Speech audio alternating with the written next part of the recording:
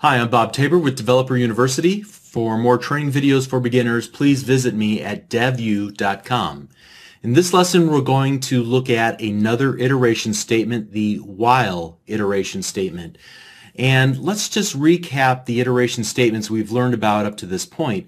We learned about the for loop or the for iteration statement, and it allowed us to iterate through a block of code a number of preset times based on a counter. Uh, then we also learned about the for each iteration statement that allowed us to iterate through a block of code once per item in an array. Now in both of these cases, you know ahead of time how many iterations or how many times to iterate through the given block of code. But what if you didn't know up front how many times that you needed to iterate? Uh, maybe you need to keep iterating until some condition is met. In that case, you'll want to use the while iteration statement. Uh, also, we'll take a look at the do while iteration statement, which allows us to always iterate at least one time before breaking out of the iteration statement. So we'll look at both of them in this lesson.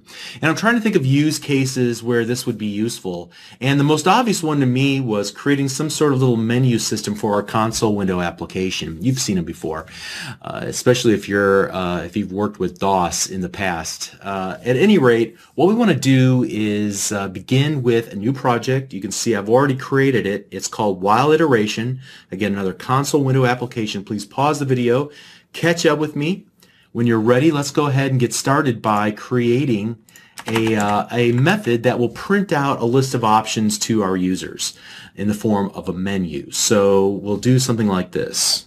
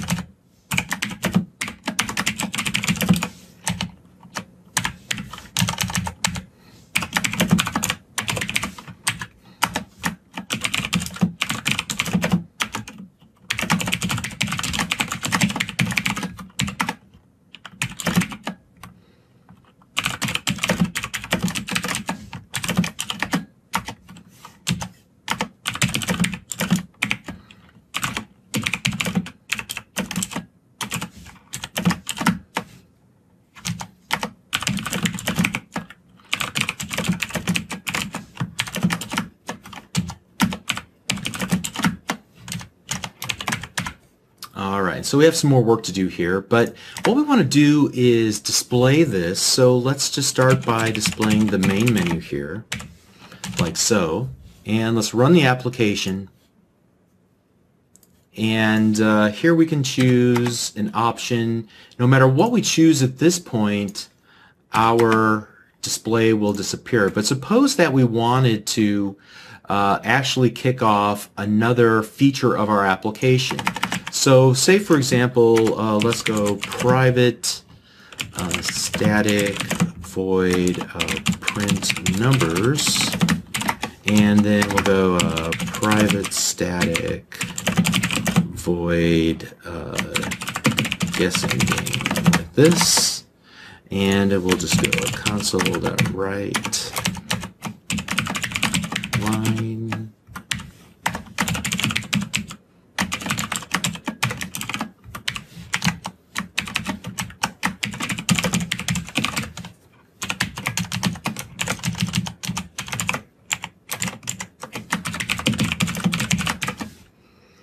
All right, and so now let's go ahead and call those from here. So print numbers and then guessing game.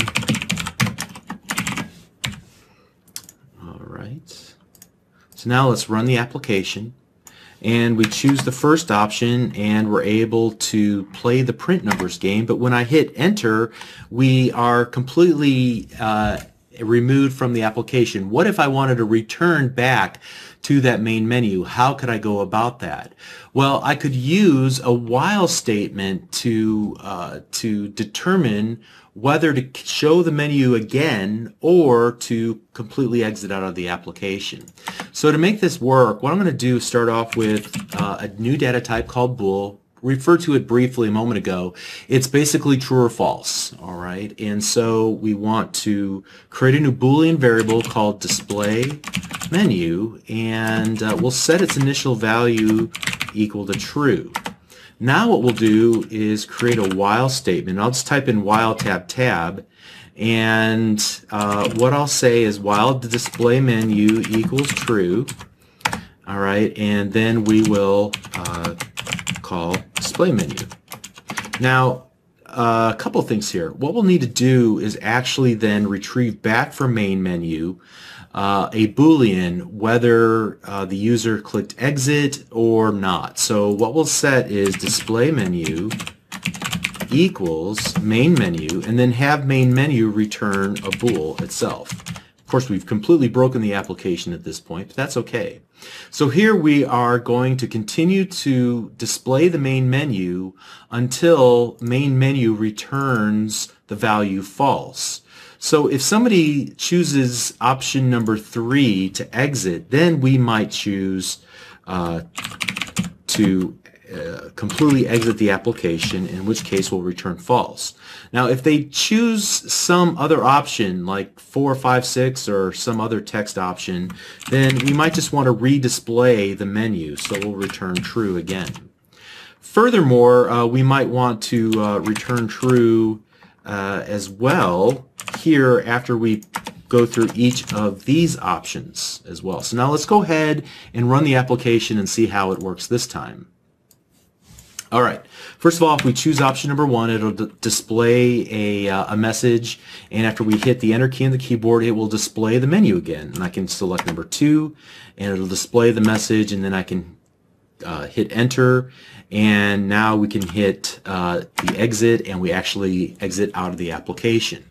So what the while statement allowed us to do in this case is check for a condition, and when that condition is true, then we can break out of the while loop. Otherwise, we're going to keep executing the code inside of our code block. All right. Now, what we can do here is actually shorten this up a little bit. We don't need to say while display menu equals true. Remember that we're, just like when we're using the if statement uh, or the else if, we want to evaluate an expression. And if an expression is true, then we want to either execute that block of code below it or not. In this case, if display menu is already true or if it's false, uh, we don't need to actually do this evaluation. It already e evaluates to true or false, so we don't have to do any equality there or, or check for equality. Uh, it's either true or it's false, and so we can just write it like that very simply. All right. So uh, moving on. Now what we want to do is uh, kind of maybe fill in the gap on some of these other little games we have here. So let's play the print the numbers game. And in order to do that, let's uh, let's go ahead and say um, console write type a number and then uh, int result equals console.readline. All right, and that's going to return back a string, but what we really want is an integer. So I'm going to go int dot integer dot parse, and this will allow us to take whatever string has been returned and uh, convert it into an integer. Now we should have the actual integer value. And here what we'll do is uh, create a counter for ourselves. So int counter equals 1. And then we'll go while tab tab. The counter is less than our result. Then we will do a console.write with the current value counter. We'll go console.write and we'll do a little delimiter and then we'll do uh, we'll increase the counter. Now there's a tiny bug with the application. Uh, we will come back to that in just a moment here. Let's go ahead and run the application. And let's go ahead and type in a number. Let's type in the number 5. And it types in, and it, it will print out the numbers 1, 2, 3, 4. So we're able to change the number of times on the fly that will iterate through a block of code. Now it just so happens that this isn't exactly what we wanted. And let me exit out of this. Uh, what we really wanted was to display from 1 to 5. So I'm going to go ahead and add result plus 1. So if I typed in the number 5, this would actually make this value 6. So as long as we're less than 6, go ahead and continue to execute these lines of code. But once this statement becomes false, once the counter is no longer less than 6, if it's equal to 6, uh, it will break out and will we'll hit this line of code here in line number 59, the console.read line, okay? So that should work. Now the other thing that I noticed when we ran the application is that we keep seeing um, additional data being written to the window. I might want to clear out everything that's been displayed so far. So here we'll start at the top and do uh, console.clear and that should clear off the screen for us and I'll just copy and paste that here to print numbers as well. So when we run the application again, this time I'm going to choose option number one and notice that it cleared off the screen and we're in the print numbers game. I'm going to type a number, type the number, uh, let's go 4. It types out one, two, three, four. I hit enter, it clears that off and it displays the menu again. Awesome. 3. Okay, so the next thing we want to do is play the guessing game. And uh, again here, I'm going to go ahead and clear off everything that's currently on the screen. And what I want to do is choose a random number uh, and then I'm going to allow the end user who's playing the game to try and guess the number between 1 and 10. So how do I create a random number in C Sharp? Uh, we actually use this built-in class in the .NET Framework class library called the random class. So we'll create a new instance of the random class and we'll talk about what that means, create an instance of a class uh, in an upcoming lesson. So let me do this. Uh, we'll go random my random equals new random. And again, that should make no sense to you whatsoever, and that's just fine. I'll explain what that actually did in an upcoming lesson when we talk about classes, okay? And uh, I want to get a random number from my random class so I'm going to call the next method. And here, one of the overloaded versions is that I get to give it a minimum value and a maximum value. So the minimum value will be 1, but the maximum value I want it to be 10. So I'm going to say don't let it be more than 10. In other words, 11 is out of bounds, okay? Now that I have a random number, uh, I'm going to also keep track of how many guesses the player has guessed up to this point. All right. Then I want to also keep track of whether or not the, uh, the user was correct or not. So incorrect, and we're going to say it is true that they were incorrect. Now watch this. I'm going to create a, a do while statement. I want the block of code that I'm going to create to execute at least one time. Uh, so that's why I'm going to choose the do as opposed to the the do while as opposed to the while. The while will evaluate the very first time and we may never actually run the code inside of our code block. But this time I wanted to run at least one time. So we'll say do this, but then at the very end we'll check for the statement while. And if the while condition is true, then we can break out of it. Okay, so while uh, we continue to be incorrect is true. So while we continue to be incorrect, then we're going to keep guessing. All right, so let's start with this console.writeLine, and uh, we'll say uh, guess a number between 1 and 10. All right, and so we want to retrieve that number. So we'll go uh, string result equals console.readLine, like so. All right, now that we have it, we can do an evaluation. So if the, the result is equal to uh, the random number so what if whatever the user typed in is equal to the random number that we generated, then we want to break out of the while statement so we're no longer incorrect.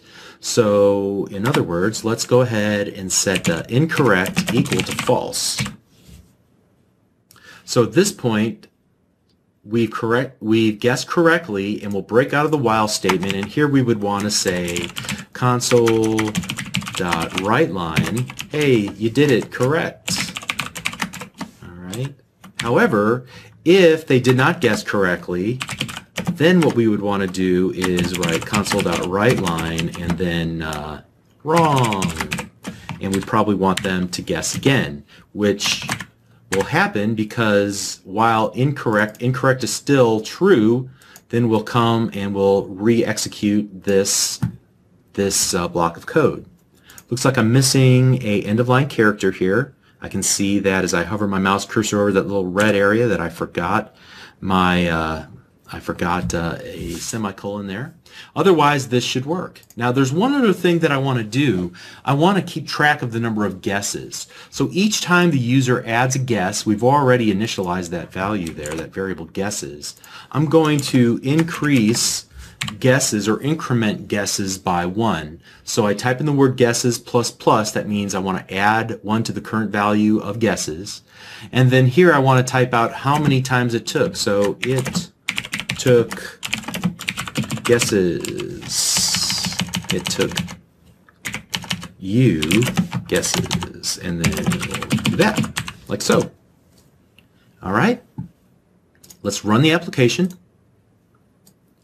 And let's choose to guess number between 1 and 10. We'll start off at 3. And you can see it says it's wrong, so I could continue to guess number between 1 and 10. Let's go 4. Go 5, 6, 7, eight. Okay, the number was eight. It took me six guesses to get to that. All right. So now when I hit enter, it returns me back to my main menu. And here I'll just hit uh, three to exit. And let's go ahead and change our menu at this point. Uh, let's just do uh, print numbers and then the guessing game. All right, and so we've used the while statement in a couple of capacities. The while statement here is used so that we can continue to display the menu until the user decides to exit. Uh, we are using it to merely print out values to a screen, but we get to determine it at runtime or let the user determine it at runtime as opposed to uh, the for or the for each where it's kind of predetermined ahead of time. And then finally we're able to use the do while uh, to uh, continue to ask a series of questions until we get a satisfactory answer, at which point then we can break out of the, the loop. The do variation allows us to run our code block at least one time uh, as opposed to immediately jumping outside of the, the block if the, uh, the condition is true. Okay? So that's why we would use a um, uh, the while iteration statement. It's pretty useful in certain cases. Uh, and so let's continue on. We'll learn about strings in the next lesson. We'll see you there. Thanks.